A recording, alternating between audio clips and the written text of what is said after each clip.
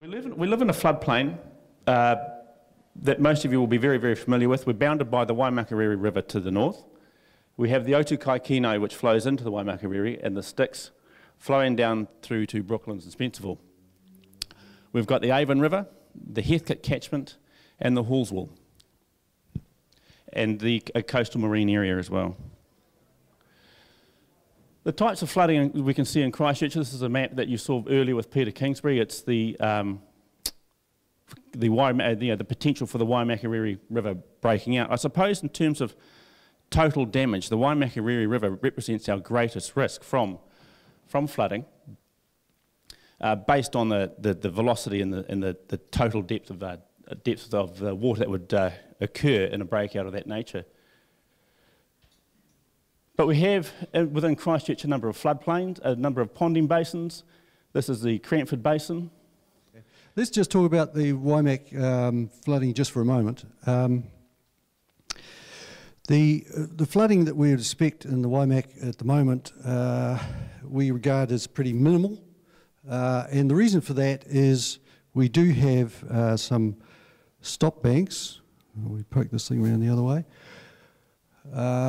Running along either side of the Waimak. Uh, and those stop banks um, are not only a single stop bank now, but they're a double stop bank. Uh, and, that, and that theoretically, uh, according to a sort of a, a flood risk type approach, uh, the risk of overtopping both of those stop banks is something like one in 10,000 years, which isn't unlike what was being talked about in terms of the uh, risk from the Port Hills uh, that they're trying to protect against. uh, the, the other type uh, of failure mode that you might get from that uh, is erosion, uh, and also you'll see a slide a little bit later in terms of what can happen in terms of an erosive um, breakout from, from that river. We're still suffering from that risk. It's unclear exactly what that risk level is, uh, but uh, we regard it as being tolerable. and for, as far as our floor level setting and all that sort of thing goes around the city, we um, do not account for these sort of breakouts because we think something like a 1 in 10,000 year risk profile uh, is reasonable to live with. So. Uh, as Mike said, uh, we have other sorts of uh, flooding around the town, uh, and this is a shot uh, taken back, know, I think about 1940 or something, might have been later than that, um, of Cranford Basin. Now, Cranford Basin is something that we are familiar with as uh, water engineer type people, but you may not understand it quite that way. It's a dip in the land. If you're travelling north up Cranford Street, uh, you'll go into some agricultural land and then back uh, into, into uh, built up areas again. And that's the area we call Cranford Basin. It's a natural ponding basin, and that's the sort of thing that happens when you have uh, uh, storm events. now, other sorts of things, uh, of course, Peter was talking about before, was we can, we, we're on the coast and we're subject to uh, coastal effects. Uh, so we have mean sea level, we have normal high tides, uh, we have storm surges, uh, we have wave run up, and so on. And we're living with that sort of a risk as well. now, if you want to know about uh, drainage in the city, there is a very good history. Uh, and called Swamp to City, and it describes you know what has happened. Christchurch Uh, became renowned uh, for uh, diseases, uh, uh, waterborne diseases, and the um, Christchurch Drainage Board was set up basically to sort all that out, and they focused mostly initially on sewage and so on and so on, and latterly on, on drainage. But it's very good history. So let's just wander back. Uh, first of all, this is, interestingly enough, the breakout of the Waimakariri River uh, in 1868. That's a photograph of the Waimak flowing down the Avon Channel uh, out in front of the provincial chambers. Um, so it, it has and it can happen. Uh, other flooding, Barrington Street, opposite Spreydon Park, uh, 1925. Uh, another breakout of the 1926. Uh, Whoops. Uh, corner of Colombo Street and Tennyson Street, 1945. Uh, so I think it's probably a little bit worse than we just experienced, but not unlike some of the things we just had. Uh, and here's your Waimakariri stop bank breakout in 1950. Now, what, what you're seeing there, oops, is a section of the stop bank actually washed away. And it's that sort of failure that I was talking about before uh, that can still happen, and we don't know exactly what the risk of that is. But with a second stop bank in behind that, the risk is, we think, a lot less. Uh, Sumner, 1968. Uh, there's been some considerable work done there with a main relief drain since then. Uh, and in this latest event, Sumner fared pretty jolly well, really, all things considered. Uh, and of course, we've got Flockton Street uh, in the Flockton area, and they suffered quite badly.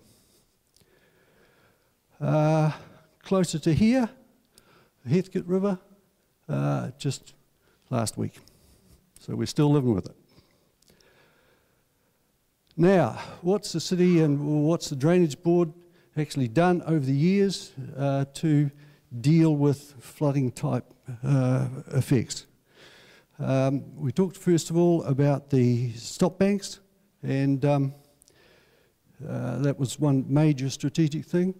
This was uh, another major strategic thing which was uh, put in place uh, following a lot of uh, flood events back in the 1970s, uh, and we call it the Dudley Creek Diversion.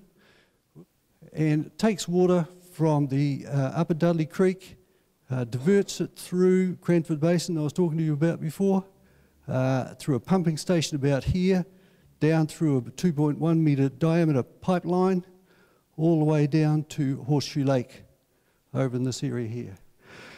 And since uh, the late 80s, when it was put in place, it has provided uh, quite a reasonable amount of protection to the, the Flockton area.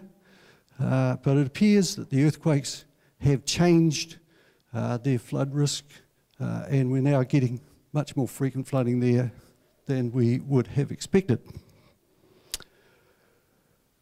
Just to give you a bit of an idea, this is one of the pumps at that pump station. This is an Archimedes screw pump, uh, and there are two about that size and another smaller one, and they're just in that one pump station. Um, closer to here, we've got uh, some works in the Heathcote River, uh, and they were in response to this sort of flooding. Uh, so this is before the Heathcote, uh, the diversion, 1941, uh, Sullivan Avenue, Judge Street, uh, down in Woolston. And what it, that is, is what we call the Woolston Cut. Now just, so we've got the uh, Heathcote River wandering its way down into the estuary, and the cut runs across this yellow band. And here it goes. So uh, quite a pleasant little, uh, little area. Uh, what was found though was after it was put in place, was put in place without any barrier in it. Uh, and the, uh, what we found, or my predecessors found anyway, was that uh, salt water came back up the river. the trees further up the river started dying. The banks on the, on the river started weakening, uh, and it was found to be necessary to put, oops, daisy, to put in a barrage, which is this guy here. So that's only open now uh, when there is a flood event on, uh, and that lets the water go through the, the cut and much more directly out to the estuary uh, and thus reduce the flooding in the uh, Woolston area. Uh, the other big features around town uh, are the stop banks along the Avon. Uh, and you'll see these particular ones here, or in fact all the ones right up the, up the length of the stop bank uh, area, have been uh, raised after the earthquake. Uh, this was the area, of course, of most of the settlement. so these stop banks were raised well, in various places a metre or so. And you can see there where the old stop banks were along here and the bit that has actually uh, been put in place to actually increase their height. Uh, they've been tested several times uh, since then, so it was uh, definitely the right decision to put these in in a temporary way. Uh, they are in a location which we still see as quite vulnerable, uh, so one of the big decisions that we're going to have to make is, you know, should we keep them there and reinforce them, or should we shift them back to a a more stable sort of a location. Uh, and I'll show you some pictures about that a little bit later. Now, some other features a bit further away from here. Uh, and these are tide gates uh, on the Styx River. Uh, now, these fit into the stop bank along the Waimakariri River and protect the floodplain in behind uh, the, the stop banks. You see them here, they're just like doors uh, which open up uh, when the tide on the side here goes down and they close back up, up when, when the tide on the side gets up and protects the floodplain and behind there. Excuse me. Right. Right, other sort of things that have happened. Um, uh, when the city started off, uh, we had city limits that looked like this. Uh, now we're talking about city limits which are this big, uh, and that changes the hydrology of the place. Uh, if you start making the area impermeable, which we're doing by doing that sort of thing, you might well double the amount of runoff. And we're still putting it down the same channels, uh, so we could do, do something about that, or put up with the consequences. Uh, sea level rise, that was uh, discussed briefly before by Peter. Um, now, there's nothing unusual about sea level rise. It has been happening at a fairly steady rate, uh, at least for the last hundred years, as shown on that sort of a graph. the issue that people talk, that people are worried about about sea level rise is about accelerating sea level rise, or the acceleration of sea level rise. Uh, and um, the fact that that might be uh, perhaps a half a metre or a metre by the end of the century or shortly after. Uh, and we, there is a report from Tonkin and Taylor which talks about that and suggests that by, say, uh, 2115, we might be dealing with a sea level uh, which is uh, a metre higher than what we're dealing with at the moment. Uh, and we have to think about that now in terms of how we plan for that sort of future. and we are doing flood maps and so on, which display what that might mean. Uh, and here's one such scenario, uh, a 50 metre, uh, sorry, a 50 year return interval uh, storm event uh, and one metre sea level rise. And so, uh, so we've got an estuary. I have shown here some uh, red zone areas, uh, and the deeper blue is the deeper colour, uh, is the deeper water, the lighter blue is the lighter water.